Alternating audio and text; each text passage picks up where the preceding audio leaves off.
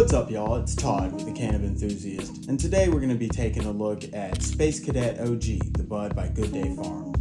Now, true to its hybrid nature, this is a very balanced bud. Its appearance is both light and dark green uh, interspersed and covered with a lot of bright, bright orange hairs. Um, very good looking bud, smells nice. The flavor profile on it's like citrusy, spicy, herbaceous, a real complex mix of terpenes, uh, very, very good mix. And the effects of this bud are gonna be, you're gonna feel uplifted, happy, euphoric, relaxed. But also, um, I tend to find myself feeling very focused, and uh, it's gonna help you with relieving things like stress, anxiety, depression. But it's also very good for fatigue and chronic pain. That's gonna be some of the uh, some of the aspects you get with the hybrid bud there, as opposed to if it were like purely sativa. It is um, a little sativa dominant, I believe. Overall, pretty high THC. I think like 23%. Pretty good bud choice. Let's go ahead and give it a taste.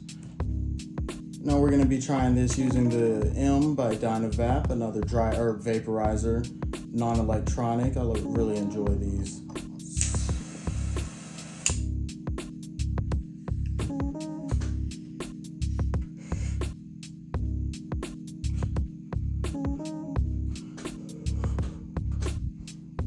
Mm.